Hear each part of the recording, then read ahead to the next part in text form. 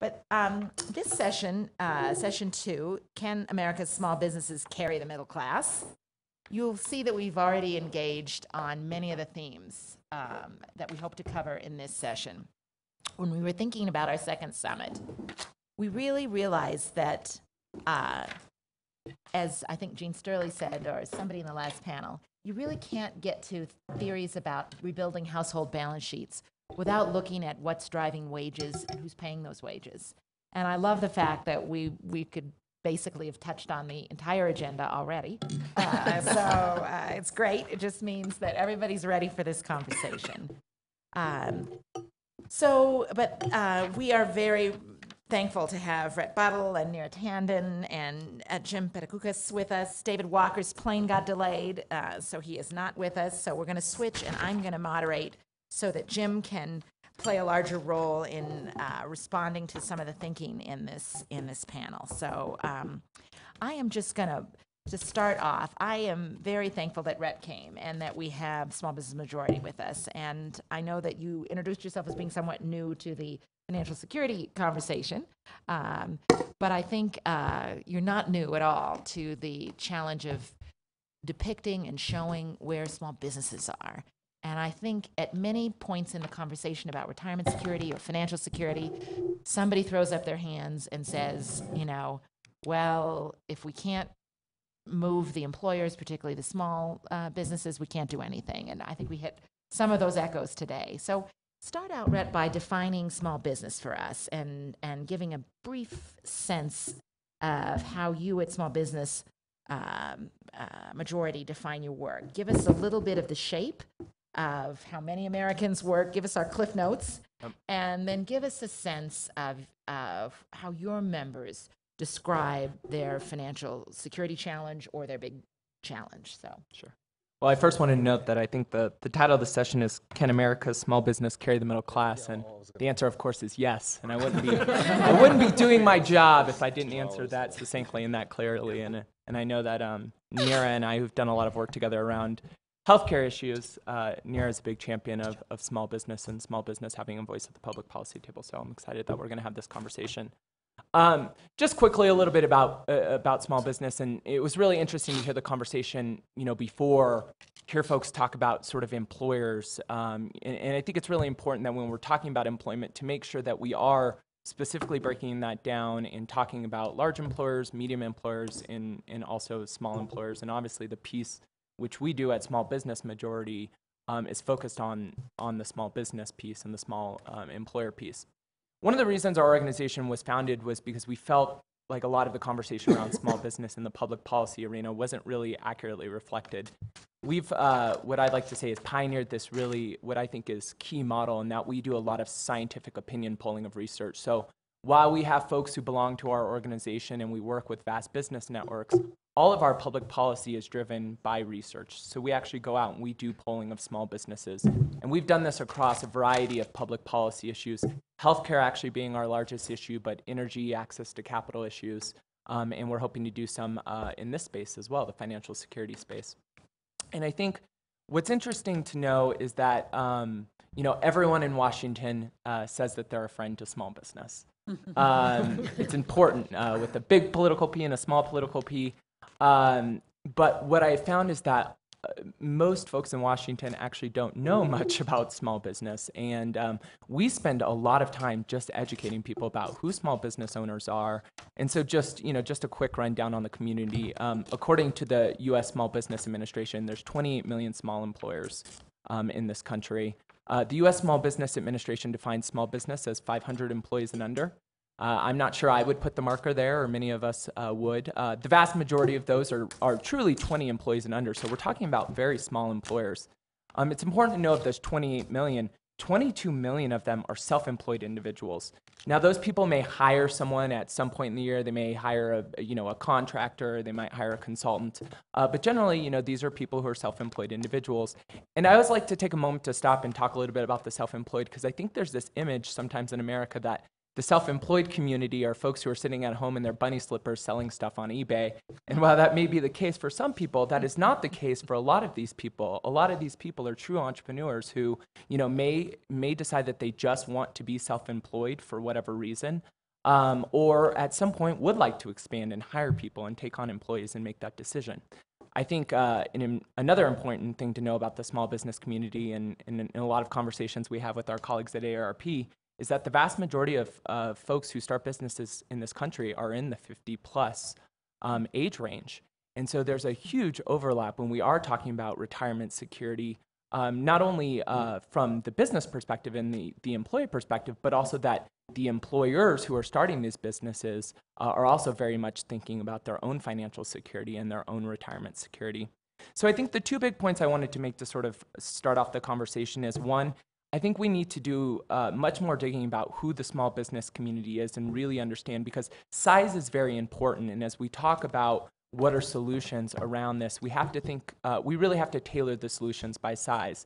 I do, you know, everything we hear from employers, whether it's healthcare or any set of benefits, all of them do want to offer benefits to their employees and pay good wages.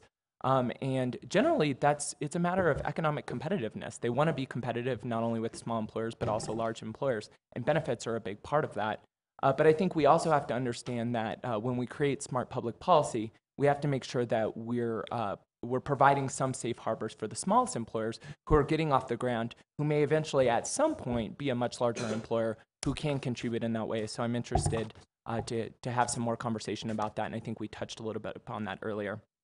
And then I think the second um, point that I just didn't want to leave uh, uh, was the role of government.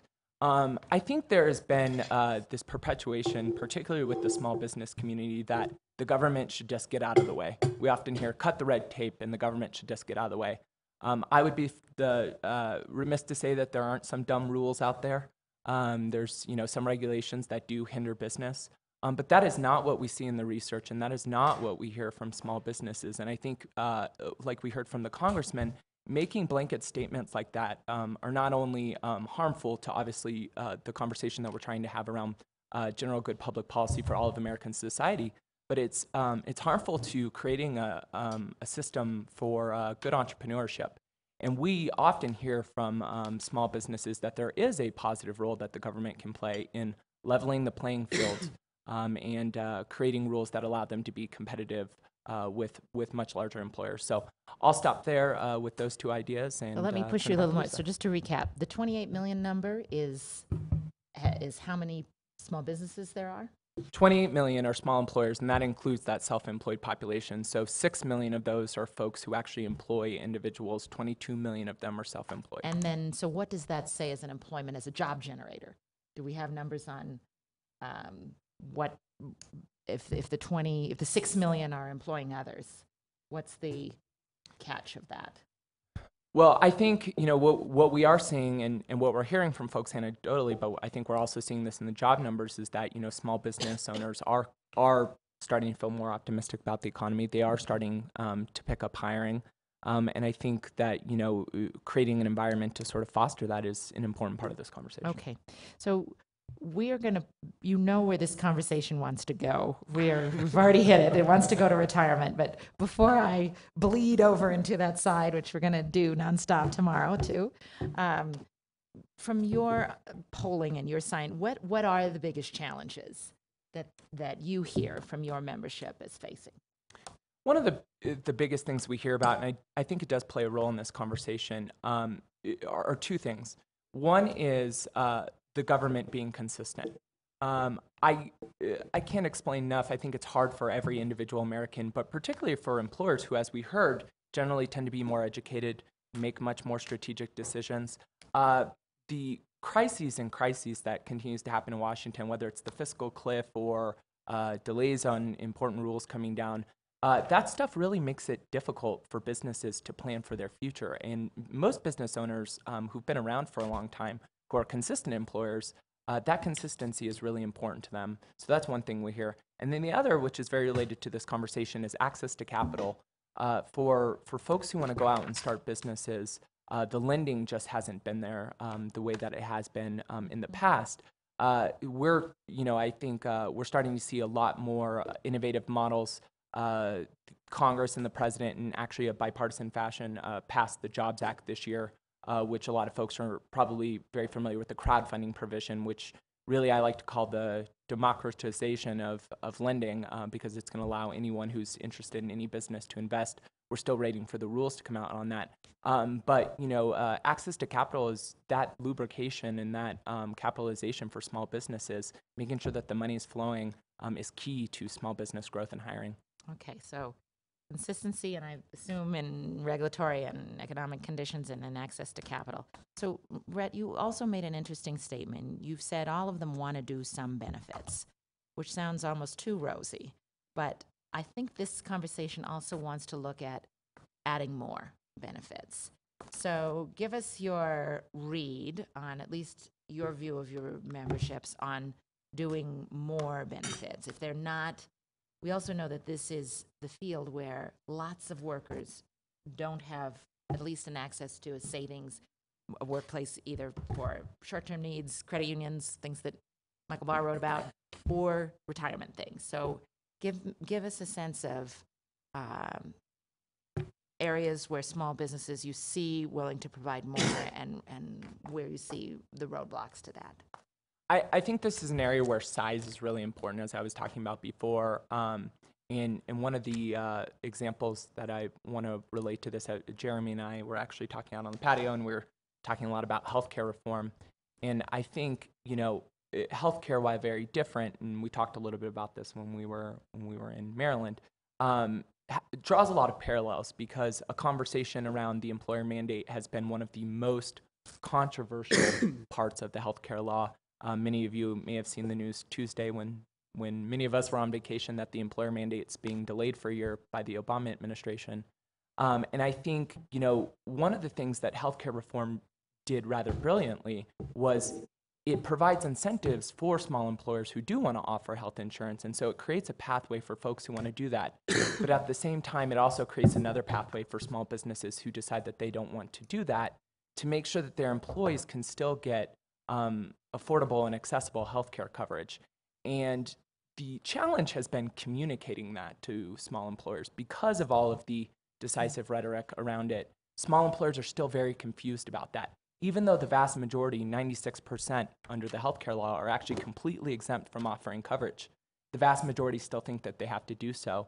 And we've spent years out there talking to people and doing things, um, and it's still taking a long time. And I think it relates to this situation because I don't think one answer um, uh, fits every employer. I think we have to look at a system, particularly by size, that's going to create incentives for some small employers who do want to play you know, have skin in the game and they do want to contribute. But I also think we also need to have a conversation about um, employers who, particularly because of their size, uh, more than any reason, just aren't going to be able to offer more benefits. And what pathways can we create for those Americans who work for those small employers?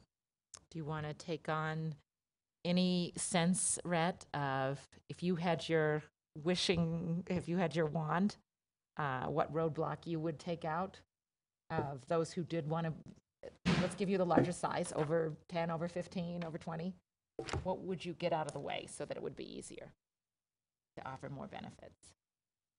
Oh, I think that's difficult. I think you know I, th- I think that's a challenge. I think um, you know I, I think there are some tax incentives that we could put in place um, if we did those in a clear uh, way that was consistent that could encourage employers to want to more play ball in this area, particularly small employers want to more play ball in this area. I do I, I do want to mention though I did I do hear folks on the on the regulatory piece of this, and you know we have heard from a lot of folks who are interested in particularly in retirement benefits that uh, the fiduciary responsibility is of key concern to them. Okay, so we're going to come back there. Neera, I want to come to you. You heard uh, interesting questions, uh, interesting discussion at the earlier about wage levels, about the challenge that this presents to the savings and investing. But if we look not just at the dollar amount of a wage, where, where has CAP been? What other supports have you been looking at that should come with a wage that are largely now missing in the in the workplace benefit package today? We we use the shorthand wage plus. Uh, You know what else is? What have you been talking about about the Um, so you know, I think overall, uh, I think we sh- we are deeply concerned with the the deep pressure on wages in the U.S., uh, not just in the U.S., it's happening to developed countries around the world, but uh, it's, there's a particular struggle in the U.S., and as I mentioned earlier, it's, it's uh, of, of deep anxiety that we've had productivity increases and still wage declines. Um, and that that's, and I think in, in some serious sense, in a country which is still 70% demand driven, is having, is part of the deep challenge we face in the economy.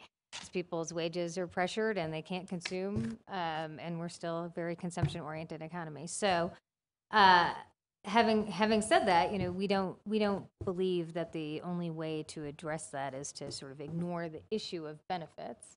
Um, in in fact, from our perspective, I mean, obviously we're focused on issues like retirement security, but we'd like to we like to broaden the concept of financial security to issues that are perhaps not discussed all the time.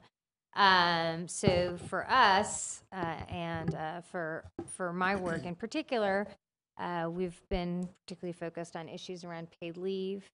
Um, we believe that those are critically those are critical issues not only for uh, the benefits to the worker, but actually for long-term competitiveness. And we know that those the zero to three age is critical for brain development, and that people who kids who come who are who come prepared, better prepared to learn, are better off. And so, and it is the case that the United States is one of a small handful of countries that don't offer paid leave. Now, obviously, in the small business context, that is a particularly tough issue.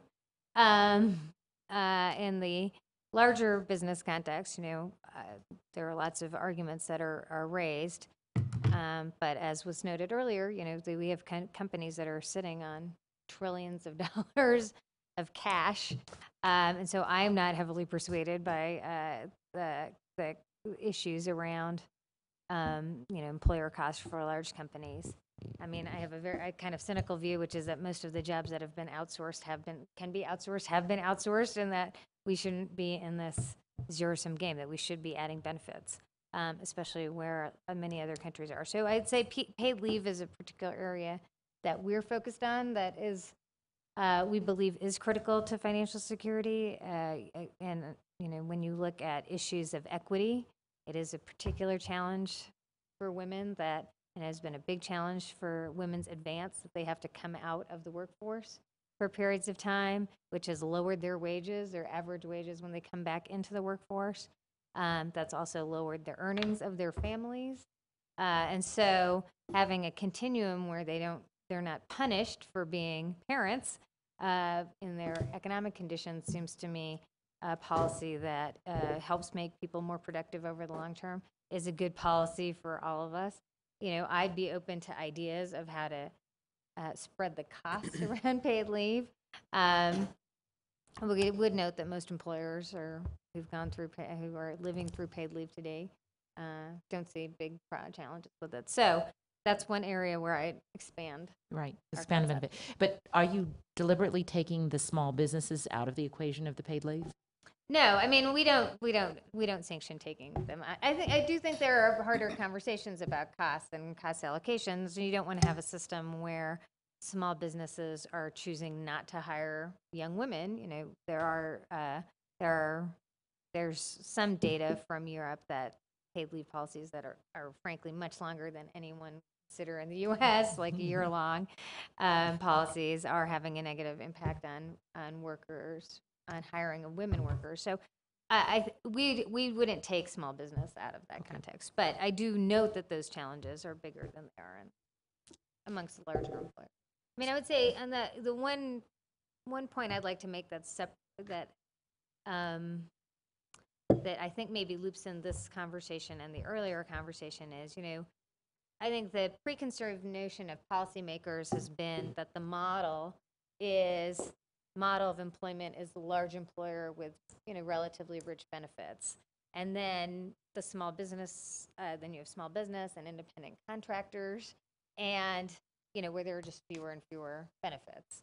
And it seems to me that over the last uh, you know several decades we've kind of moved to a model where benefits are less and less assumed because we're we have just so many more independent contractors and, and small business owners.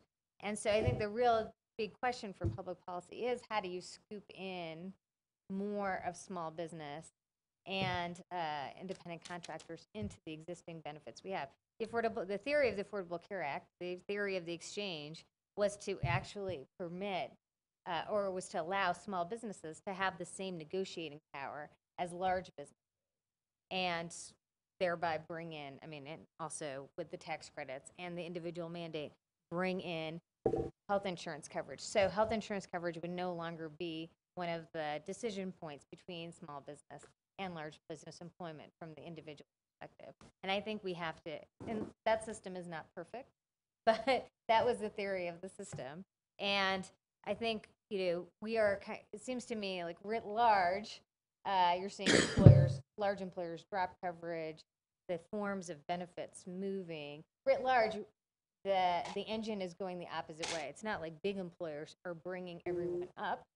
It's that independent contractors and small businesses are creating, uh, and global trade, a variety of other issues, are creating more and more expe- acceptance of limiting those benefits. So unless we think of a manner by which we bring benefits into the into the new v- new versions of employment or the employment into independent contracting, et cetera, we're going to be in a system where there's always going to be this trade-off for the large employer, and they'll be more and more open to cutting back on these em- these benefits that are so important. Yeah, you used, I'm going to get to Jim too, but you used an interesting phrase when you said uh, maybe the time of outsourcing, we've outsourced as far as we could go, and maybe it's time to add benefits back. What gives you some hope that there is a way to add benefits back to kind of get, you've kind of described an eloquent picture of the dragging down. Well, I, you know, I don't but- think that's like a good thing, you know, it's like, I'm not, I'm not advocating, um, I'm not advocating, I mean, we do, we're in this very odd picture, right, where, and we have big challenges with employment, we have big challenges with wages, companies are pretty wealthy, you know, so it seems, uh, I think the, the whole nature, I mean, it's, it's the fact that we, that we have the unemployment rate where it is means that we're not going to just naturally have increases in benefits from the structure of the labor market, right? You know, that might happen at It's not 3%. happening, it's not happening uh, It's not happening inexorably, right? yeah. Because there's not competition, there's not the labor competition to make people compete on benefits. If anything, you know, the fact that the, the jobs that are getting replaced are lower wage jobs, the jobs that are, that were lost in the recession is only going the other way, which makes, in my mind, you know, but of course, I'm progressive, makes in my mind that the impetus on policy, government policy has to be higher because otherwise there's no other pressure that's going to create this benefit and we don't want to and you know to to I- my own view is that in the end we have you know I don't think of this as a as a partisan issue. We all have an interest in in increasing demand in the economy. I I think business leaders have you know but Democrats Republicans we are fa- we've been facing this demand challenge for years now and it seems to me like we have there's some optimism about things moving in the right direction but we still have deep deep problems of very unequal growth which are hurting the demand side of the equation. And so both through benefits and other mechanisms we want people to feel enough security so that they can you know, so that it's not hurting demand. Do more. Yeah. And you know hopefully i would like it to go into savings as well but i understand how someone who's basically like you know just using up their savings to stay even uh, isn't going to make that Have a hard time. Good. Jim, I'm going to bring you in. I want you to tell me whether you agree with Neera's assessment. She's got an interesting equation going on about Are you trying to set up a- an AEI CAP fight with your, very, your, I with get your along initial really question? well with Arthur You're creating Brooks, so conflict we with your can- initial question? I think we can end it with just the children and how I'm nicer to my kids.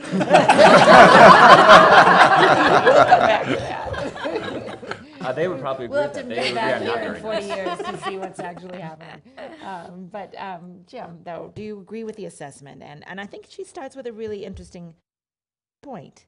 If we're demand challenged, if we still need, then we need jobs that are, got some of these benefits back. And the teeter totter's unweighted in the labor market and you need to come in with more policy. So what's your, what's your equation? Well, one thing I write a lot about is I've read a lot about this recovery and how, how weak it's been.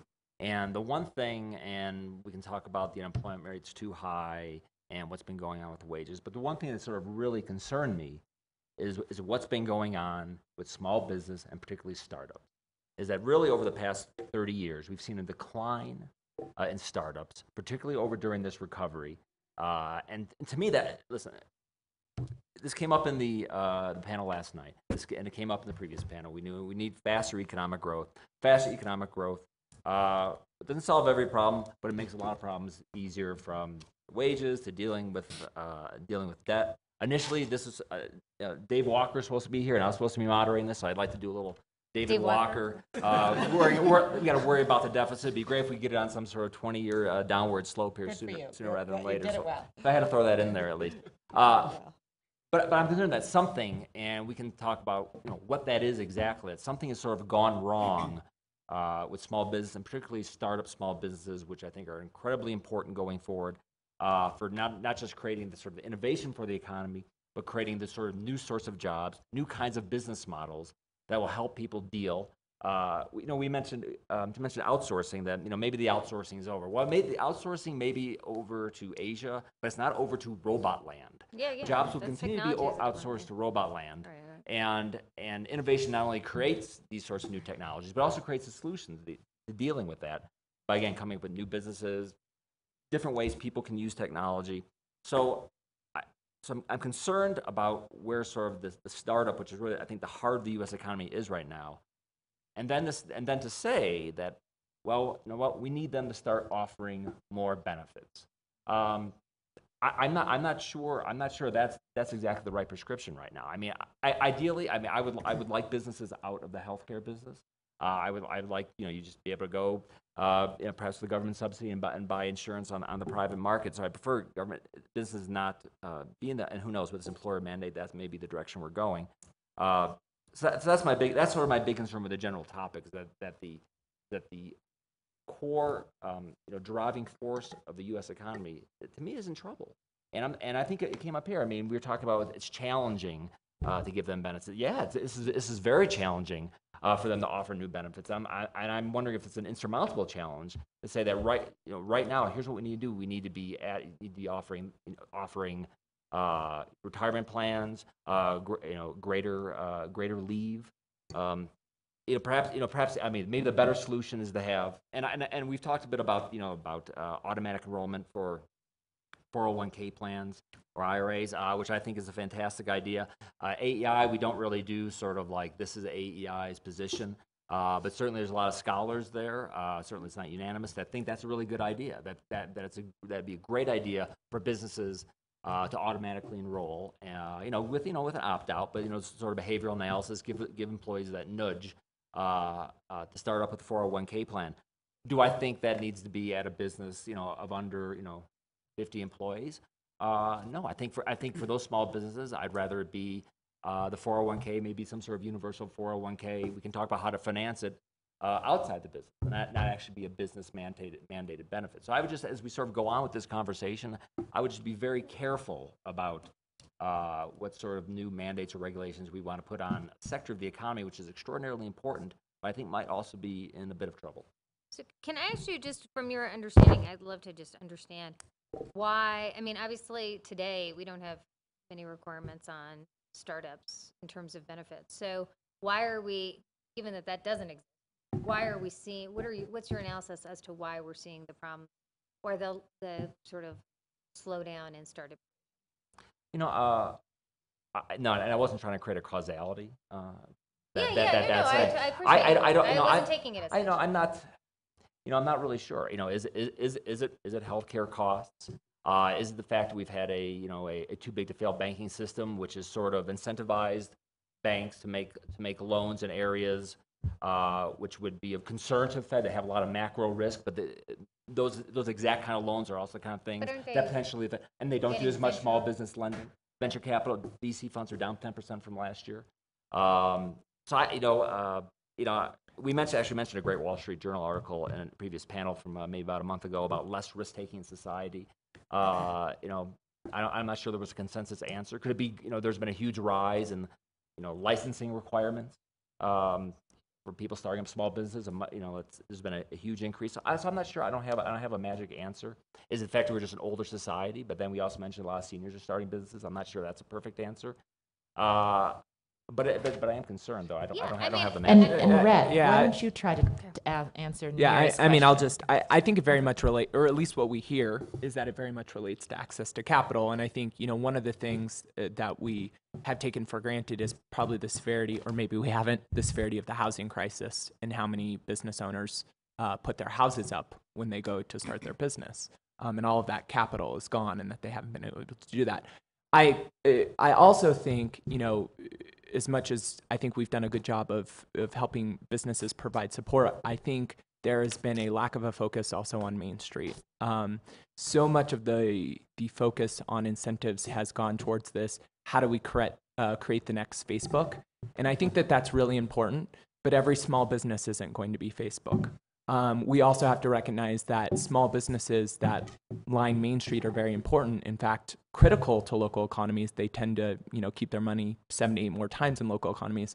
So I think, you, you know, when the when the government's thinking about how to make investments, I think so much of it over the last few years has been, you know, how do we uh, help these high tech startups get off the ground because that's going to add, you know, so many jobs more quickly. And I think that's an important conversation. But I think we also have to pay attention to Main Street too. That's us- it's like, but right. I mean, I right. We, we need you know what they you know what they call the gazelles. We need these fast. These companies are going to be fast growing. They're going to go from small companies to big companies. Fantastic. Uh, you know, but obviously we also need people. I mean, that's one that I talk about saving. I think one of the best ways. More of us are going to become small business owners in the future. Uh, so I think to make it easier. Uh, wha- I mean, we did a great event on the on, on Uber. You know, I, you know, a perfect example of a business starting. Yep. Where yet there was yet, yet there was this regu- regulatory pushback to quash it. Um, not everything is quite you know as sexy as that story, uh, but it, it's a million of those sort of little things which I think may be which may be dragging uh, on on small business creation. Yeah. And What- Can I, uh, can I pop in again, Jim? I want to go back to your phrase about sort of, I'd like the small business community to be out of the business of healthcare. Do you feel the same on retirement? We had, we had echoes of that in the prior conversation, you know, why is the widget manager responsible for, uh, the person who's trying to make something responsible for investing her employees' uh, future retirement? Uh, What, what's your reaction Well, right, there was some of that in that panel. Um, you know, do we want to keep these? You know, to what extent do we want to have businesses involved? Because that's not, you know, if you're making, you're making, you know, you know, widgets or you're uh, a retailer, you know, um, those benefits aren't, you know, that, that's not that's not your core business. Uh, I, I think I think using business as, as as sort of a distributor. Uh, I, I, you know, I think that I think that's a good idea. And again, I have I I think it's probably a very good idea to, to, to sort of nudge people into these plans. I realize, uh, like, you know, coming you know coming out of the last election, uh, one of the things I've tried to think about, and a lot of people at AEI have tried to think about, is uh, you know, you know what, you know, what is a what is a economic agenda that doesn't throw away kinds of things that sort of center right folks have been talking about. You know, how we need, you know, we need more entrepreneurs, but also more directly addressing sort of middle class uh, problems. And I th- and I think I and I realize the idea of a mandate. Uh, that word is you know sort of you know nuclear and radioactive. Uh, but I think I, thi- I think that but I think that I think this is the issue where that can be overcome. Uh, where where where I, I, can, I can see that you know maybe not right now, but you know in my lifetime. Uh, and as I tell my kids, I I maybe got five good years left. So this could so this sooner rather than later. This is not like you know, 50 years from now. Uh, Do they realize that that just like means they have to work now? The tithing program starts soon. I hope you have more than five years, but But, finish uh, your sentence because you're no, on something big here. Uh, where, where you can see sort of folks on the center right really you embracing that, that kind of mandate. Say it again, especially, especially because- if there was some sort of, uh, you know, there was you know, a- a- an opt out, uh, but but initially just you know automatically enrolling people in those kinds of plans. I think is you know is a is a very good idea. Do you have a reaction to that, Rhett? What I think he was, it starts to sound very interesting. Uh, uh, An economic agenda that doesn't throw away what's working, but yet brings more, I can't, I didn't get your final. It, th- there's one piece too. I just want to lay on the table quickly. Is is also I, I'm very concerned about the amount of young people starting businesses, and I think uh, student debt has a large role to play in that. But we can table that and maybe come back to it. Ah, it. You know, I hate to go back to to the Affordable Care Act, but the Affordable Care Act tries to achieve exactly what you've said, which is that you know the mandate, as I said before, for small employers is at 50 employees. 96% of all businesses uh, don't even, you know, completely aren't touched by that mandate. Um, and the vast majority who are already offer coverage. It's approximately 210 businesses, uh, 210,000 businesses which are affected by the employer mandate. Yet we're seeing the administration delay for a year because of all the political pushback that they've gotten from the business community, even though we're talking about a very, very small amount. So I, while I, I agree with your, uh, I sort of, I agree with your thought. I think we have to sort of do this in two ways, which is, you know, uh, provide incentives for employers who want to do so, um, but also provide another avenue, whether that's, you know, auto enrolling and nudging. Um, there's got to be an individual piece. I think there has to be an employer piece as well. Uh, I'm nervous about the political ramifications just with, you know, the challenges we're having getting the mandates implemented um, on the healthcare piece, which, quite frankly, healthcare tends to be more near and dear to people. They tend to have a more sort of uh, better understanding of it than than sort of financial security issues. Neera? So, I mean, I, I wanted to return to one thing, which is this issue of um, of why we're having fewer startups, and I and I, I think you know, I think perhaps this whole conversation relates. Um, you know, one thing we're looking at at is the levels of innovation in in Nordic countries, which is actually relatively high, right? Um, and uh, and I think that actually one of the challenges we have in this economy is that you know if you make one false move for you know large sections of the economy, like your life goes on and can go on a downward spiral relatively quickly. It can be healthcare. It could be like you bought the wrong house, you know. it could be an accident of some kind. And so I actually, you know, I do think the issue of startups is a vitally important issue. Um, and if we have uh, fewer startups, that is a big challenge. But I actually would relate it to the question around benefits and wages, which is that you know in in the world if you if all these dis- if you don't have a infrastructure of support and some terrible thing happens or you decide you want to go do a company and it fails right? Because most fail. Like you have to believe you could fail to do a startup right? Then it's going to be a hard it's going to be a harder decision to make to do. And so um you know i don't know that necessarily that this is the reason why we have fewer startups or less innovation, but I wouldn't, I, I wouldn't be surprised if the fact that fewer com- companies are offering benefits, that, you know, the whole state, the whole suite of support is going in the opposite direction, doesn't, a rational thinker doesn't think like, maybe I should do this ten years from now when I have more wealth in my home, or my home is more stable, or my assets are more stable, than doing it now. And so I completely appreciate the question of putting benefits on the startup, right? But that doesn't mean, I think the startup is like one example over here. And we have small businesses and other examples where, you know, large employers aren't offering paid leave, for example, where, you know, that we should, I think we should think seriously on the other side of the spectrum. I'm going to give Jim and Rhett final comments, and then we're going to, I see some other signs starting to pop up, and then we're going to open the table. So, Jim, reaction to Uh, Neera or another point? Well, I mean, I mean, I don't know where the exact cutoff should be, uh, whether it's 50 employees, 100, uh, or 500. But in all the polls that you guys have taken, when I mean, it, is there a cl- when they talk when when businesses talk about their big concerns, you know, is it taxes, is it regulation? I mean, where in that where where in that ranking is their big concern our inability to offer more benefits? Are you Is asking that- is their it- yeah, employees? is that- yeah. That might be The someone to employers. ask too. I mean, right. no, no. no I, I mean, I, I don't know if that's been, you know, if that is something that we've asked in our survey. Something we should. Um, I think, uh, but I, but I, I reject the notion that employers don't think it's important to empl- uh, to provide their employees benefits. I don't think that's what you were saying, but I just, I think that they do think it's important. I think that they do want to. I think they can't for a variety of factors.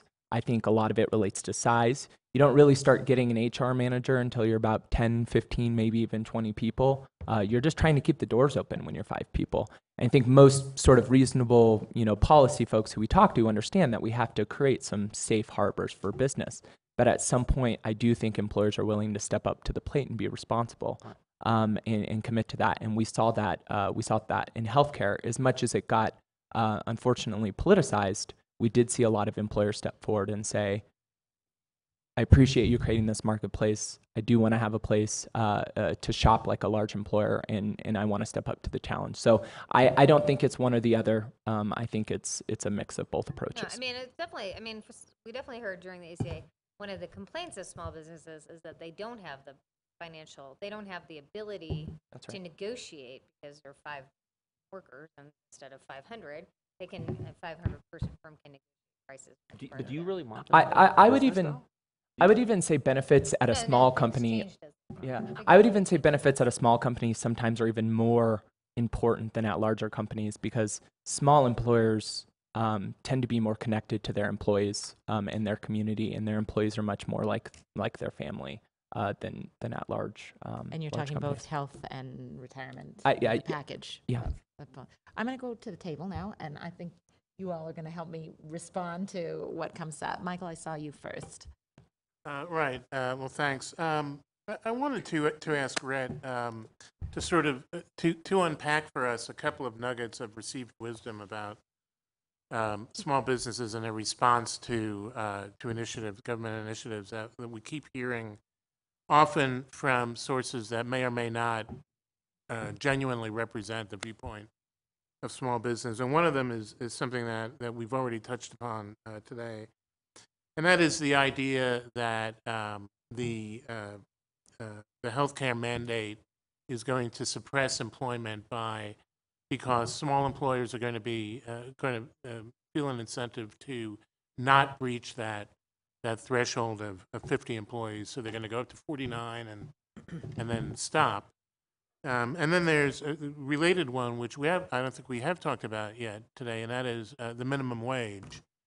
And the received wisdom there um, is that uh, if you raise the, the minimum wage to the nine dollars that President Obama has proposed, uh, much less the ten dollars that Tom Harkin has proposed, or the sixteen dollars and fifty cents that it would be if it had tracked productivity gains since 1968, um, then inevitably it's going to result in less hiring, uh, even though uh, we know that um, the evidence from all of the studies of employment effects of minimum wage are, are at, at best equivocal and really, uh, uh, most of them show no effect or even um, a possibly a positive effect on employment. So, um, what do you hear? What do you find uh, in the studies you've done, and what do you hear from your constituency on those issues? Uh, I mean, I think one of the things that that we found has been most interesting to me over the past four years that I've done this is that small business owners are far more pragmatic than they have been led on to believe. I think there's been a sort of a perpetuation out there that there, as I said before, has sort of been no role that they, you know, that the government has no role. I don't think that they think that, you know, the government should be, you know, slapping them on the back with numerous mandates, but I think they do understand that there is a positive role that the government can play.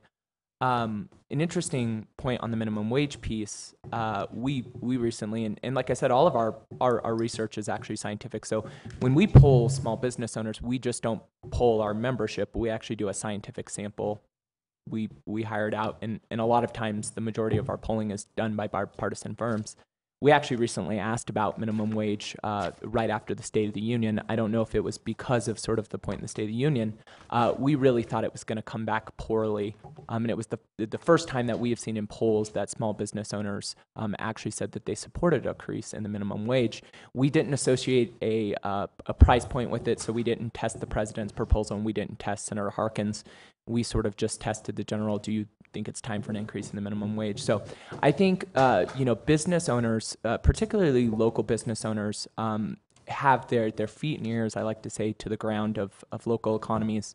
Uh, consumer demand is is one of the you know, in addition to access capital, the number one thing uh, that we hear all the time. What role can the government play? Um, so I think that th- I think that uh, small business owners um, are are concerned with this issue uh, of consumer demand, and I, I think they do think um, that there are positive steps uh, that that the government can take in sort of increasing increasing that demand. Thanks. Ed? Um, I, I have two questions. Um, the first one is for Rhett, the second is for the panel. Um, the first is within the context of self-employment. Uh, where I see self-employment occurring in the Mississippi Delta is as a- it's a, out of necessity. Um, an individual is often in a low-wage job, and he or she then goes into business to supplement those wages. And so, um, you know, hauling, you know, hair, braiding, um, selling produce. A lot of black farmers will sell produce. Um, so how do we bring the retirement conversation to those individuals that are already, you know, turning to self-employment to get by? That's question number one. The second question is, about half of the small businesses we finance have already been turned down by a bank or referred directly to us. So, so we're moving into that access to capital space. About 20% of those businesses are able to offer some type of retirement um, assistance. You know, what's the policy change either at the federal or state level that we should be pushing so that those businesses, which may struggle to repay the loans that we make, can, you know, offer something to their employees in the reti- in, you know, retirement space? I'll. I'll start with the first piece, and then I'll let you. I'll, let you- I'll take this, the second piece. How do I- we unlock capital? It's like, I think it's been in every Aspen Institute. for the piece. last several Uh. I, I think you're exactly right. I think uh, in a lot of communities, particularly in very poor communities, the idea of self entrepreneurship um, and small business and um, all of the things that come along with that is uh, not only uh, part of the American dream, but now a necessity. Um, I think, you know, for a lot of the reasons that we've had a conversation here today, uh, you know, employment is changing. Um, but I, I mean, I think we're even seeing it at professional levels too. We're starting to see, you know, more consultants and things like that. So I just, I think the way that uh, Americans are going to be employed in general, we're seeing a shift. Um, so I think we're going to see more, uh, more and more entrepreneurship coming out of that. Um, not only uh, a lot of it out of necessity, like you said. So I think your point on with that. I think you're right that we have a challenge of of bringing the small business piece into the retirement security conversation. Um, you know, over the course of sort of my career in you know politics and working with lots of different communities, the small business community in particular has been the most difficult community that I've worked with to sort of bring to the public policy table. It doesn't mean we shouldn't do it. we should, and we should do more of it. Actually, I think um, policymakers and advocates like ourselves should spend more time listening to small business owners. But because they are so busy running their businesses, keeping their doors open, making payroll, um, it's really hard to get them to think about these issues, which I think, you know, is a good argument in favor of why, you know, maybe some of these responsibilities should, you know, be removed from the employer and there should be, you know, opportunities for the people who work with them. I'm not saying that it, that employers don't want that because we very much hear that they want to play a part of the benefits conversation to stay competitive. Um, but I think that, uh, like I said, I think it's a it's going to be a myriad of options. Um, but I think uh, you're right to recognize that there's a challenge in bringing their voice into this conversation just because of sort of the constituency of who they are. Can I just push Ed's question back to Neera and Jim if you want to make a comment? So from Ed, what you're basically saying is 20% of the people you already finance come to you with a retirement program. That's right. So annually, we survey all the businesses that we finance that are um, current on their loan repayment, and um, 20% of those businesses last year offer some type of retirement assistance to their employees. for themselves. So if we pull from the morning conversation to this one, somebody from one of our companies has found a market. You know, somebody has found your client and has gone into partnership with them to get into a savings plan. So, and what is your typical size? Are we talking over 50 or are we talking? Well, so that's the, there was a Under comment 50. made earlier about the importance of size, and Yeah. it is the larger businesses that we finance that typically are going to be the ones that offer the, the plans. Um, I don't know what the difference in sizes are off the top of my head. So Neera or Jim, do you have a reaction to Ed's point that he's, he's running a small business portfolio in a very tough part of the country? And at least 20%, that leaves 80% out, but 20% are, have found a way to offer a retirement plan. But he's saying, what else could happen to move the 20% up? Do you have a reaction? Or to, or to bring the Or- eighty or- percent or- in. Or bring, yeah, excuse me, bring 20, change that number from 20% Right, right, right. higher, yeah. Bring the 80%, touch the 80%, particularly in the group of self-employed. Have you looked at? I mean, so, I, I mean, I really don't have the, uh, the, the magic bullet here. Uh, I guess the question is, is there, for some group of employers, is there a pooling mechanism, a state option, like some, something in which they would be happy to help encourage retirement without being, without having too much skin in the game. So it's like, I, it's, it- it's from, do you have a sense why the eighty percent, the larger amongst the eighty percent aren't doing it? I mean, my sense is that it all comes down to they're not making enough money Right. to offer some type of, of benefit, basically. Okay. Uh, uh, just, uh, I mean, I think the cost's definitely part of it. I think size is an important part. And I know one of the innovative ideas that sort of came out of our last summit was in, in, in a lot of ways, we hope the healthcare exchanges, which really are supposed to be marketplaces for small businesses, at some point would be able to offer a variety of products. And I know that there's some ERISA challenges for the lawyers in the room. I'm not a lawyer about how that might work. But for small employers who are going to be shopping on this new marketplace, um, if they could also pick up their retirement plan, um, not only not only adds convenience, but also offers sort of a pooling mechanism like we've talked about. I mean, it seems to me like we're spending a lot of money investing in the infrastructure. Lots of different states doing that. Uh, if there's creative ways to use that system for other products, we might consider that. Right, I mean, I, I guess my comment would be that, that with that group, you know, to me, as we said, it's going to be a challenge probably always uh, getting them to offer. So again, maybe you know, again, the best solution is to have them not be in that business, and rather, you know, so where, you know, so what are those workers going to do for retirement in addition to Social Security? And uh, we know we want to have consensus, and I think I really think that the idea of a a some sort of universal saving plan, even you know with a government match, and again, we can talk about where that money might come from. Uh, it, to me, is really a solution for those very small businesses, uh, which are probably always going to have a problem coming up with the dough uh, to run a retirement plan. Okay. Bob? Uh, I love starting, uh, Jim, just where you ended. I, um, I guess the, the title of this, the focus was kind of s- business and small business and retirement savings. I want to come back to, I think, the question you posed of why have startups, or at least the job creation from startups, declined? Uh, And I will, I would argue, I can't prove, that it's the uh, wiping out of family savings. Oh, you know, because of the housing crisis, because of the downturn. Um, But, but the data, I think, are important. So the National Bureau of Economic Research has done a series of studies which has found that all the net new job creation in the U.S. in the last 30 years has come from new and young businesses, not large, not small. Um, But it has gone from a high of 3.6 million a year to a current low over the last few years of 2.2 million a year. I think, you know, most, particularly most self-employment, but most startups are financed out of personal savings, savings of fri- friends, family, and associates. They don't even get to the bank, which isn't going to lend anyway at that point. Um, and they don't, and most of them aren't big enough to get access venture capital. Um, and the housing crisis um, and our policies, where we don't incent the bottom 60 plus percent of families to save, uh, has also hurt that. So, um, you know, I love the title of the, the first session, which I hope we keep, you know, throughout this. But I really do believe that household savings are a source of macroeconomic growth, and that if we can ride that banner, um, maybe we can find a way to create some bipartisan consensus.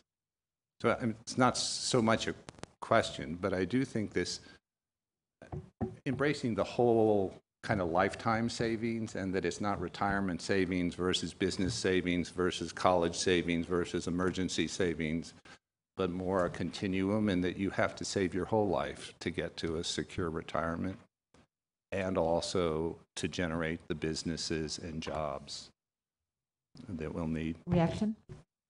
Great. Uh, w- one, one thing, you know, I, I write about and, um, I know a few of the scholars at AEI, uh, have come up with is that, you know, we, we- you know, we have a tax code, uh, which doesn't encourage savings, which penalizes saving. Uh, that if, if we're gonna have actual tax reform, and we've talked a lot about, you know, broadening the base and, and lowering the rate. Well, I mean, I'd like to look at it a little bit differently and think about what, you know, what are we really trying to accomplish, uh, with the tax code? And one of the things I would like to accomplish with the tax code uh, that that didn't penalize savings and investment. Um, you know, uh, we know we can debate about the, you know the exact impact of corporate taxes and dividend taxes and capital gains taxes. Uh, but I think we talk about the math. What I think the math says is right now the current tax code uh, does not enc- does not encourage savings, uh, encourages consumption. So why should we be amazingly surprised that we currently have not enough savings, but maybe too much consumption? Um, Well, I think we probably have too little of either. It's like, I mean, too my view is that consumption we and too probably little have too savings. little of either right now at, at this current moment, but generally of either consumption or savings. I, I guess, I, I guess I, I, my earlier comment, I think, was sort of trying to react to this idea, which is that, uh, perhaps, I think it's, maybe it's just a corollary to what you're saying, which is that the less, ins- you- the less institutional support will have for a variety of accidents that can occur to them, can occur, uh, the more they're going to cling to their savings or other things. I mean, this is a big problem with China, right? One of the big problems we have in the world right now is that because there aren't systems of insurance for healthcare and other other and other things that can happen to humans, the Chinese savings rate is just too high, and they're not consuming enough for the global marketplace, including the U.S., et cetera. So they're not they're not they're not encouraging; they're discouraging growth on some level. So um, so I do think there's you know a, people react to the society they live in and make decisions that are rational decisions for them, and people are going to people people aren't going to take risks when taking a risk is such a huge problem for them. Um, and I think you know I think that's my response to the issue of startups as well. I want to note that we've got some areas of consensus here. At least between So, us it and people in the audience. Yeah, it's, it's- it's pretty powerful. I am not for dismantling the safety. We've got, uh, we've got Jim not dismantling and talking about uh, universal savings accounts with government matches. We've got Neera agreeing I, that I'm all for household universal saving accounts. savings and macroeconomic growth. It's, it's pretty powerful. I'm going to go to a couple people that haven't spoken, and I'm going to see you, but John Witter. Sure. Um, First of all, Lisa, thank you, and thank you for the whole panel. Um, You know, one of, one of maybe the most favorite things about my job is I actually get to go out and visit with small business clients and prospects just about every week. Um, And they really are the absolute backbone of America, and it's, and it's, you know, if you ever want to bounce in your step, you know, come, come, come with me on one of those visits. These folks are absolutely fabulous. Um, but you know, you know, a couple thoughts from, from, from those experiences that might be relevant. Um, one, you know, I've had a number of those clients really kind of talk to me about this paradox of being a small business owner today.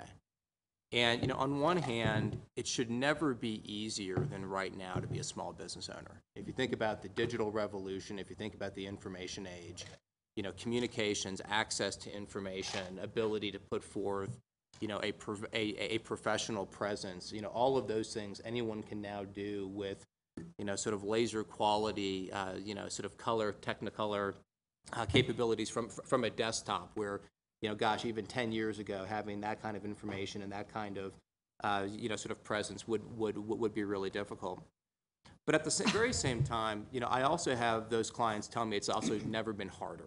And a lot of these folks have been in business for years. And, and, and there's two things that I think they really cite. Um, one is just the variability of their revenue streams through this economic downturn. And if you think about it, you know, if you're a small business owner, losing one account you know, losing one, one sale, you know, having one downturn, you know, where your plant is shut or your shop is shut for, you know, a week or two because of, uh, you know, of a storm. And, and so what I hear a lot of them talk about is a real reluctance to engage in anything that looks like fixed costs. And I think that fits very nicely into what we're talking about here with, with added mandates, added, you know, sort of asks of these business owners. I don't think they have any problem with those asks per se. I think they have an allergic reaction to anything that all of a sudden makes them feel like, gosh, if I now next year have a down year, am I below the low water mark and will my business literally survive? So I think that's, you know, that's one of them. The other thing I hear a lot about, and, and please don't, don't take this as an anti-regulatory comment, it's not. But it is the, the, the cumulative and what I would term sort of disjointed level of regulation that many of these small business owners face. So I visited a client in Houston uh, three months ago, and this is a great story. Guy laid off from his job, um, doing machine uh, uh, uh, sort of fabrication, valve fabri- fab- fabrication for oil drilling platforms. Started his own business. I mean, bought a lathe, started cutting steel, and you know he told me that you know between state, local, and federal agencies, for him to get started in his business, there were over 30 to 40 groups that he had to coordinate with. Now, by the way, I I have not audited that, so please no one quote me on that. I didn't go back and, and sort of check that, but I, but, but I, but I believe on the face of it that it's, that it's directionally right. And yet, when you look at his office, you know, he's got uh, 12 or 15 machinists working for him, and his sister is his bookkeeper, and that's it. And by the way, would describe his full-time job, 80 to 100 hours a week, is, is making machine parts. And so the idea of all of a sudden dealing now with 40 or 50 groups, oh, all of which we would say are good things, like OSHA. Who's going to argue that OSHA should be coming in and making sure that the, you know, that the, the employees are, are safe and the workplace is right, and, and, and sort of right on down the line. But I think there is this notion of cumulative impact.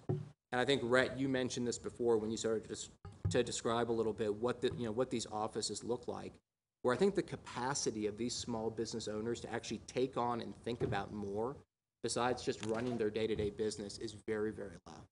So thought, thought number one. Thought, thought number two is, you know, there's been a lot of conversation about capital and access to capital.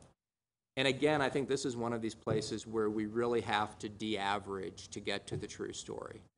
And what is interesting, and I think, you know, Bob, this comes back to your point from earlier, for those companies that are going concerns, where they have some equity built in, they've got a, you know, a client roster, they've got, you know, maybe a year or two of business performance, the, the competition to provide those people with loans has never been fiercer. And you can see it in the pricing data, and I, I can tell you from firsthand experience, you know, every one of those deals is, is, is sort of heavily contested.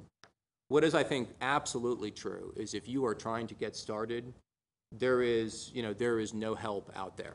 Um, and that's not, I would argue, a bank lending thing because capital is not the same as equity. I think it is how do you find equity to start these, these small businesses with?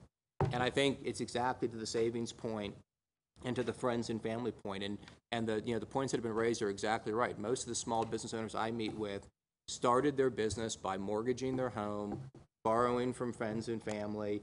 In the case of this fellow from Houston, using his severance payment that he got from being laid off from his job. Maybe the severance industry is still pretty good right now, but I don't think any of those other sources of capital are, are really particularly good.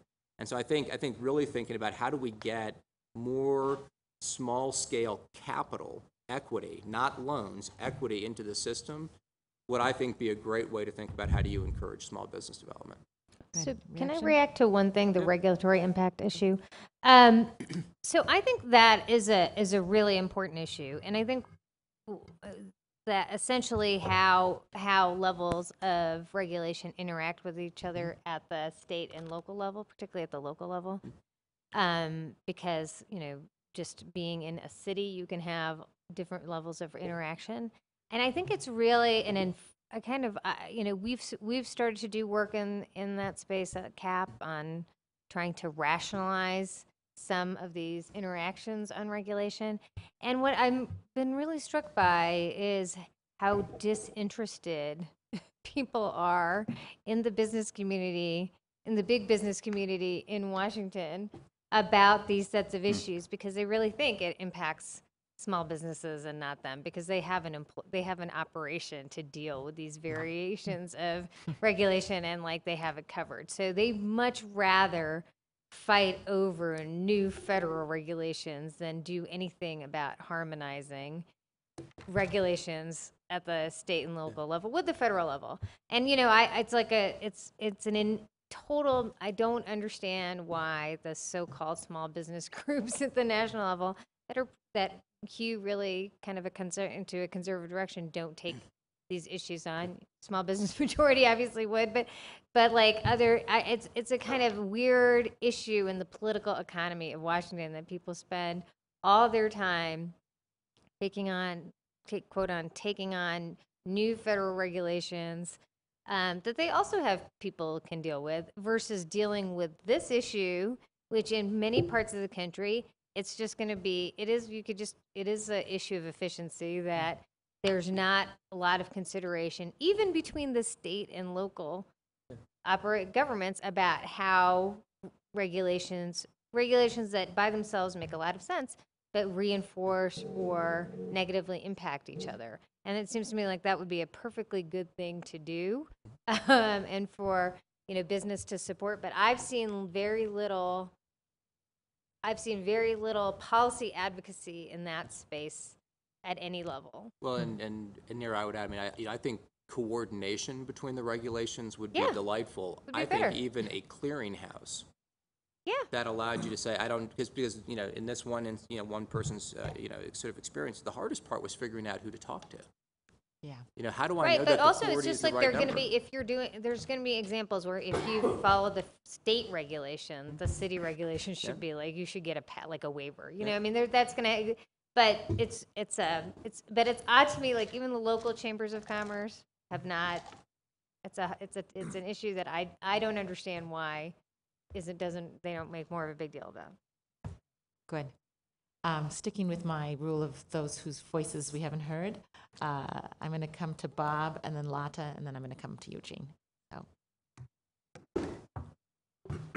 Um, Neera earlier was talking about companies, I think she said, are pretty wealthy. There was references, uh, reference made to two trillion dollars parked offshore and the need for a corporation to provide paid, uh, more paid leave. Uh, Others have said small business is just trying to keep the doors open and struggling to repay. Those are very different pictures, uh, and I'm trying to reconcile them. Maybe Neera's comments were focused solely on large business, but I'm also thinking as to whether competitive market forces today operate against increased benefits, and therefore whether uh, government mandate or policy direction is necessary if we want to pack more benefits uh, into the employed, uh, into the workplace. And also just an observation, and that is, uh, when I have changed jobs, uh, I know that there are benefit packages there, but I've never really been very adroit at examining them or weighing whether I should go one place or another because the benefit package is better. Most of my focus has been on whatever the identified salary level was, and the other things sort of went along for the ride. And so I wonder whether, again, market forces and a lack of salience and ability to compare benefits uh, operates to mean that if we want uh, market forces to, to press for better benefits to be included, that's not going to happen. And it really does require uh, government to uh, be more active. And so in, in the larger question, it's, it's sort of what model works best? Is this a sort of thing where, where an enhanced welfare state is necessary to build in more financial security in the workplace? Uh, Or is there some way to uh, get competitive market forces to operate more effectively in this, in this space? So uh, I should just clarify. I mean, when I made my comment, I was talking about, uh, I was talking about large employers. I mean, it's the large employers that have the cash on the sidelines, not small business. Um, I do. I think we do have experience with tight labor markets. Uh, at least for some firms within tight labor markets, uh, not only salary but benefits increase. Um, you know, the challenge we have is that we haven't really had a tight labor market in, in quite some time. And so that was the point I was kind of trying to make. I don't, I don't see, uh, you know, I, I'm a progressive, but I have a preference always for the market producing a good if it can. Um, I'm just, I don't see any, uh, I mean, we don't, we're, we are not likely to face a tight labor market for any, you know, seven years. So, and that's, that's optimistic. So, um, not even, a- that's like a normal labor market, not really even tight. So, from my perspective, I think it's a little hard to imagine, um, you know, the benefits associated with a basic middle-class quality of life existing unless they come from external policy guidelines, in which case, you know, the truth is that um, all employers within the US have to deal with them. You could have a, you know, you could have a, do what we did in healthcare and have a small business cutoff or something. Um, but uh, I think the challenge, I mean, I'm more, I'm, I'm anxious about small businesses and the loss and the fact that they, they're not offering this.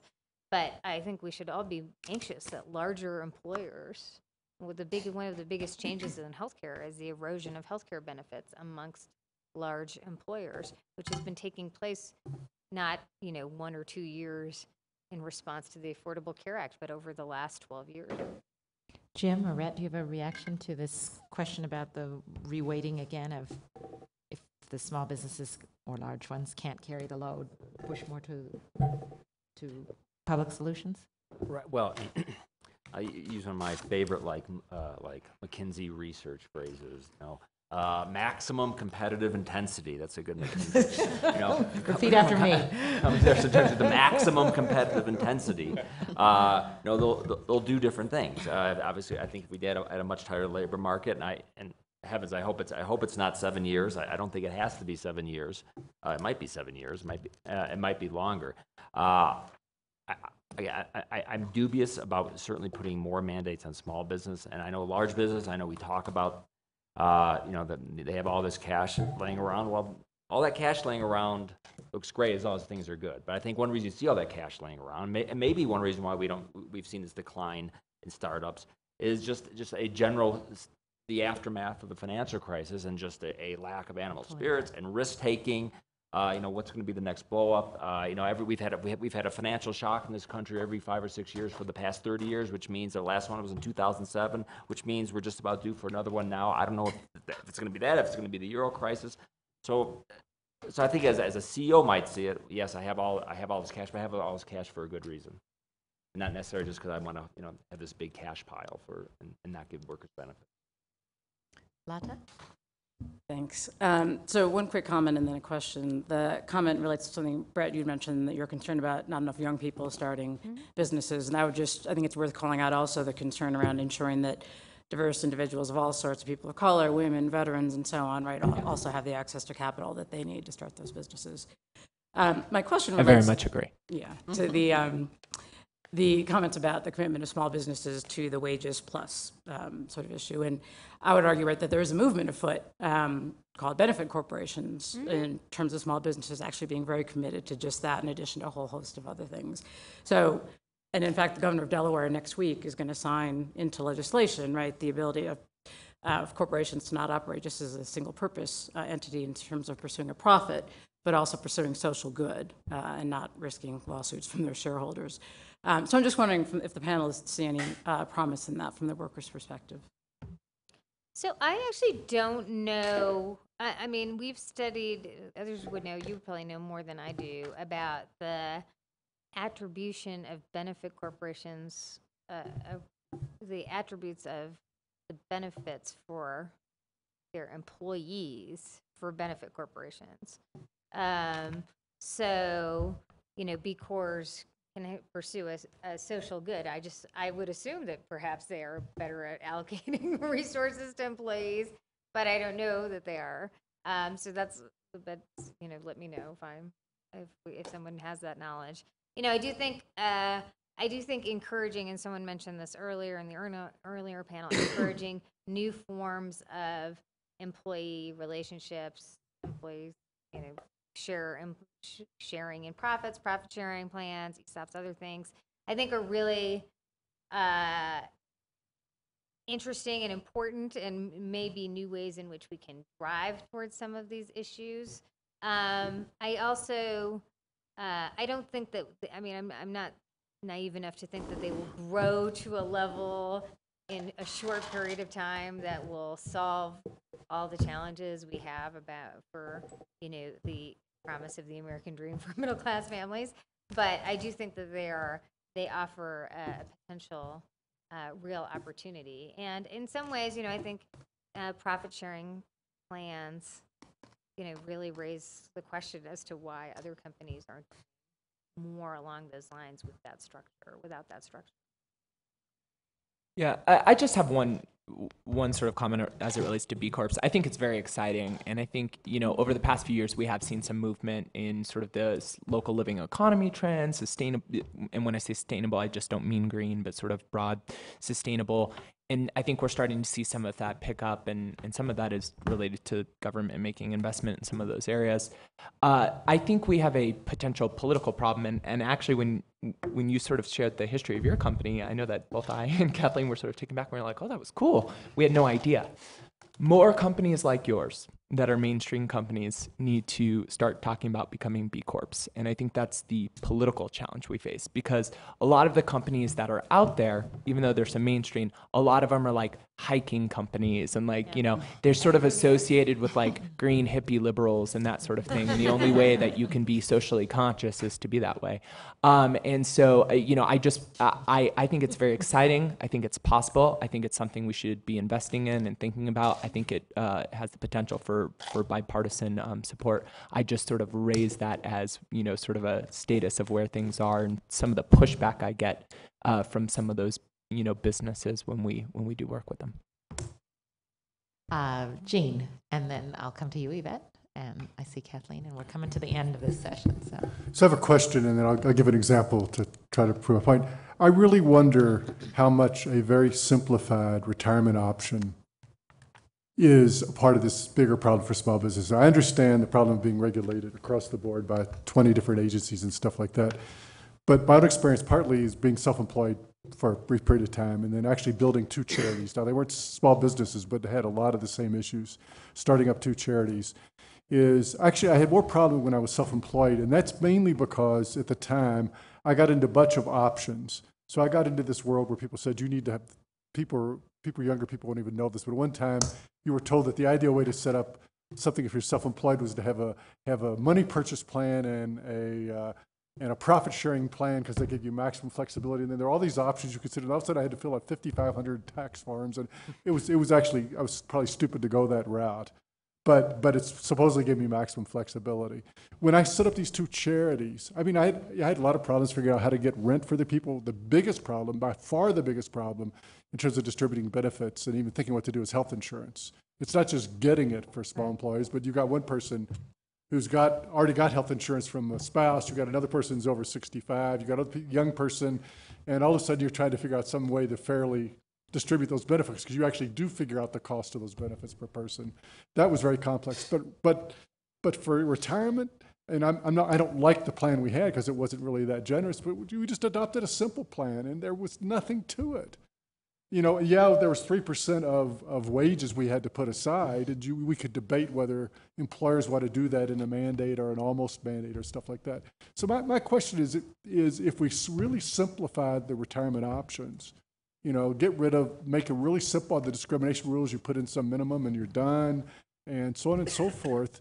is retirement really a major, you try to get more money retirement solution, is that really one are the major problems of this small business community in dealing with this, this, what we should have sympathy for them in dealing with this broad regulatory, pro, broad, broader regulatory uh, apparatus that they, apparati they have to deal with? Reactions to the James? Well, I- I think there's one piece that we haven't talked about, at least on the small employer side. I mean, I always tell people when we talk about public policy, small business owners don't get, don't wake up in the morning and think about the EPA. I get calls all the time, like, you know, do you think a small business owner do they do they think about this? And and really they don't. Um, you know, like I said, they're thinking about keeping their doors open. I think the the piece that we haven't examined here is a little bit of the employee aspect with small businesses. And um, I partially relate this to our experience. We're incorporated as a 501c3, and when I started with the organization, we had three people. We now have 26. And we have yet to sort of figure out our retirement plan. Um, and let me tell you why. It's because, and, and our, our CEO who founded our organization is like the most amazing, responsive guy. He really, truly is. And he really cares about us and he pays us all well and all the above. No one has asked for a retirement plan. Not one of our 26 employees. Um, and it was just until after I uh, had this conversation uh, when I was at White that I went back and said, "Oh, we need to start thinking about this." And then I sort of started talking to some people, and some people said, "Yeah, that would be nice." So you know why I think the the employer piece is important, and I think employers do want to play a role in that. I think also, uh, particularly in the small business piece, um, employees have to go to their employers and also say that you know yes this benefit is important to us and we are thinking about our retirement.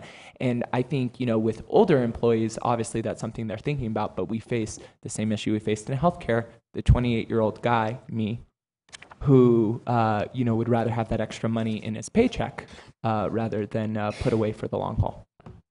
Well, I mean, what you're arguing is that sort of they'll, they'll never do it. Because if they don't do it now, when probably young people, you know, uh, I'm, I'm not even sure this was a real poll, but you know, they, more young people believe you know there would be you know there were aliens than they believe Social Security. So I think for young people, there's certainly, I, I don't think anyone's counting on it. So if you think average 20 something, if you said, are you counting on Social Security? No. They I, I would guess that that's probably a belief and yet they still won't go to their employer demand something. That means to say they're they're never going to unless they're you know nudged into already automatically being in that plan. I hear a vote for nudge. Work for the nudge, right? Yvette? Yes, I just wanted to stay on this m- notion that Jim introduced of the mindset of the young generation and small business creation into the future with the shocks over five to six years, but also either direct experience or watching their parents through corporate downsizing or outsourcing or, uh, you know, s- s- student debt for their, uh, their uh, siblings or themselves, et cetera. And the parallel we've seen in investments is that generation is actually as conservative as the folks who lived through the Great Depression, which obviously has real concern for their long-term retirement prospects and growth if, for, you know, in their 20s, we can't convince them to have a portfolio that's diversified. Um, So I was just curious around, are there any policies or things that we can do to encourage them to be more risk-taking, not only in their investments uh, for their retirement, but also in new business creation? Well, I, I, I think, Millennial again, I think that's a, hu- I think that is a huge issue. That's sort of that sort of now sort of innate caution, Yeah. whether it's whether it's starting a business or or, or, be, or being in stocks. You're right. I mean, Right. after the Great Depression, I mean, can't blame them. I mean, the S and P 500 didn't return to its old levels Didn't from do much. 1929 to about 1956. Right. So it was, that was a bit of a fallow period uh, uh, stocks. Uh, so you understand, I, and I, I, and what doesn't make it easier is that you also have a lot more. I mean, I think people, you know, long term, they should be in, you know, publicly traded uh, stocks. Again, I am not a registered investment advisor. This is not specific. There are no guarantees of, you know, past results. no But we have them in the room. But, but, but that, that being said, you also have, you have more companies going private. There are just fewer equities out there for people to, so I think if you talk about regulatory reform, um, I'm not sure if it's a reform of Sarbanes-Oxley, make it easier for companies to go public, because even if, even if they get past that sort of innate, you know, uh, caution, uh, there just aren't as many publicly traded companies to be involved in. And you can also talk about the volatility uh, from, from, uh, from high, from high frequency trading. Also, I mean, who wants to be in market, in a market when you think it could- go down a thousand points because of, you know, the infamous, you know, fat finger mistake? So. I'm going to um, remind you to ask Eric's boss, Janet Murguía, that question tomorrow, because she's starting us off tomorrow with a kind of next generation, can it live better uh, truly mobility thing, and I think it, it is an interesting piece of this. It is. We're at the five-minute mark, maybe four-minute mark. There's a lovely lunch waiting. There are hills to climb. Uh, So I'm going to do a lightning round of questions all together, and then ask you guys to close us out. So Kathleen and. Well, I'll just uh, ask, I'll, I'll be very quick. So I'm just curious about the role of Walmart, um, reducing the amount of small businesses. Because a lot of, you know, if you were in a small town, you'd start a, a business. You'd have a retail. you'd have a- And when I think of all the small businesses that I used to see growing up, Yep. many years ago, um, they've all been taken over by one large yeah, big box stores. And those were easy to start, they were needed, and people could do that. So, I love that you're nodding, but that would be my, one of my questions, and if you really want to start, if you think small business is important, what do you do with large box? I know Ed has a reaction to that too. Okay, Walmart, Maureen.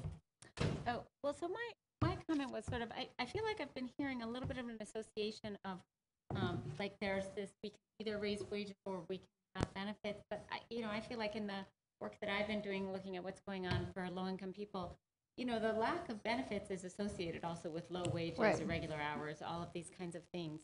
Um, so, so, you know, so I was sort of thinking about, well, what's the no friction, easy thing to do? So I have to go back to the raise the minimum wage point, which is easy. It's easy to understand. People understand. I was interested that even your small business folks said, yeah, maybe it's time to raise the minimum wage. Um, certainly, the research shows that it's not a job killer, David Neumark aside. Um, and, uh, you know, and, and in, you know, sort of you brought up Walmart and retail, you could say the same thing with Darden Foods and restaurants, right? I mean, you have small restaurants and then you have Olive Garden, Red Lobster, et cetera, et cetera, everywhere. Um, you know, there's lots of restaurants that are small restaurants where they pay their servers more than two thirteen an hour, where they pay their dishwashers more than seven twenty-five an hour, and they do just fine. So, uh, you know, and there are states that have these higher minimums, and they do just fine. So I, I, don't- you know, I guess sort of I keep going back to, well, can we at least push push on that, and then maybe people could save a little bit more if they had higher wages. Good. Kevin, last one.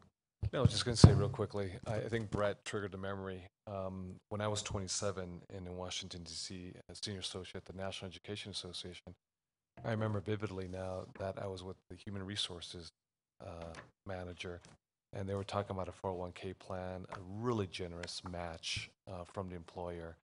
And my mindset at that time was explain this one to me again. So you're going to take X amount of money from my check, and you're going to take it away from me?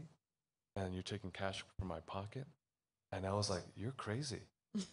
There's no way I'm going to participate in that.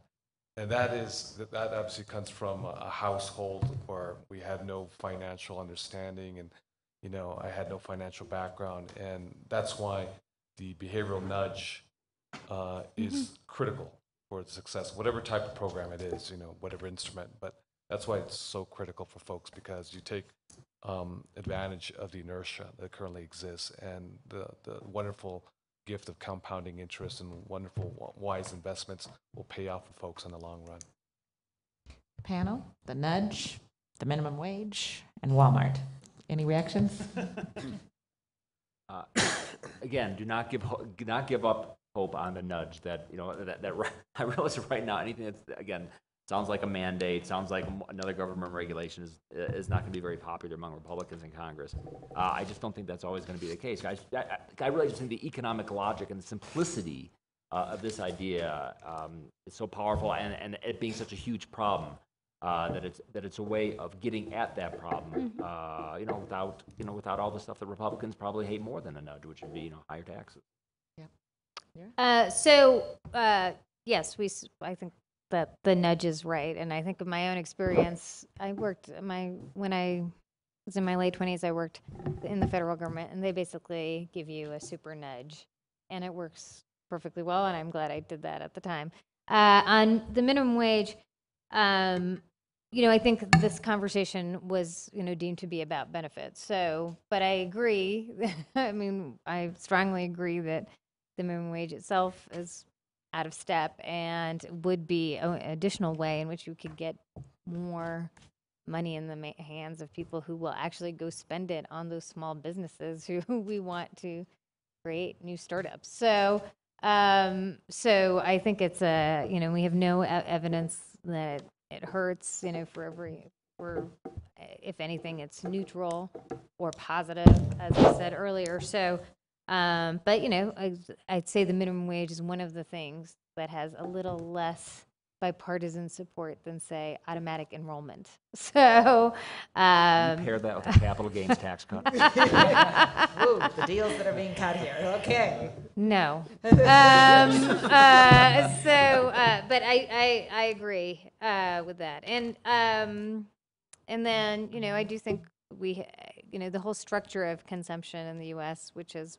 been buying so many, you know, it's fascinating to me that uh, Europe has so much export and so little incoming from China, and the U.S. has so much incoming from China.